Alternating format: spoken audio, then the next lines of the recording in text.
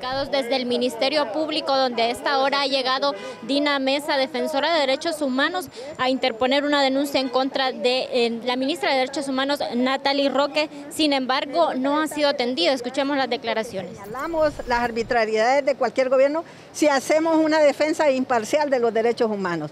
Si bueno, si queremos chamba y nos vamos al gobierno y, y hemos sido defensores y allá decimos que qué friega esta mujer eh, denunciando al gobierno, entonces ahí ya no fuimos nunca defensores de derechos Pero humanos. Es, que es bien rico estar en el gobierno, disfrutando de las mieles del poder, no le llega mucho eso. no me llega, a mí me gusta estar de este lado, viendo la situación de, de las víctimas y acompañando a las víctimas y promoviendo los derechos humanos para que se fortalezca la democracia. No le recibieron su denuncia, si nos recapitula por favor la información. No, me dijeron que no cabía esta denuncia ni en la Fiscalía de Derechos Humanos, ni en la Fiscalía Especial de Derechos Humanos, ni en la Fiscalía de Protección, que fue creada justamente para proteger a defensores y defensoras de derechos humanos, periodistas, comunicadores sociales y operadores de justicia.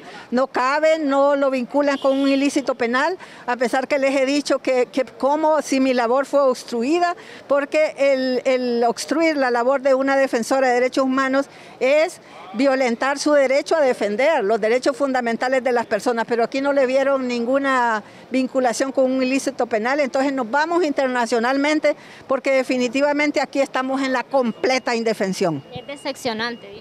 Definitivamente voy tan decepcionada que definitivamente estas instituciones parece que no tienen un sentido de existencia.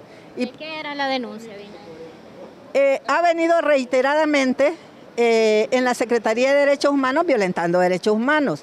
Nos obstruyen nuestra labor como defensores de derechos humanos ahí cuando acompañamos víctimas en el mecanismo de protección. Acompañamos a periodistas, a defensores de derechos humanos. A veces no nos dejan entrar.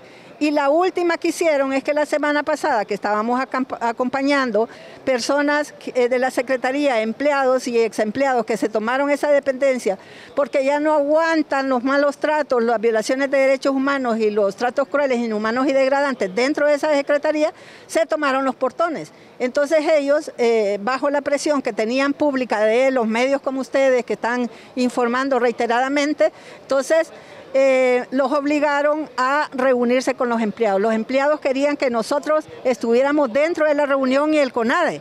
Y Guido Eguigure, que es el viceministro de Protección, me imagino que con la disposición de la ministra Natalie Roque, dijo que no se reunía con los enemigos. Imagínense ustedes, nos consideran el enemigo. Me acuerdo de la película Enemigo Público número uno, nos ponen en un grave riesgo en la defensa de los derechos humanos. ¿Ha calificado usted esta institución como una secretaría del terror? Es una, un reino del terror el que está ahí, porque nadie le hace nada, continúan haciendo violaciones de derechos humanos y allá en Casa Presidencial no se oye padre, la presidenta no oye, no escucha, le hemos pedido una reunión, le hemos pedido que haga acciones para detener estas violaciones y no lo está haciendo. Entonces estamos bien decepcionados, estamos en indefensión completa en este país.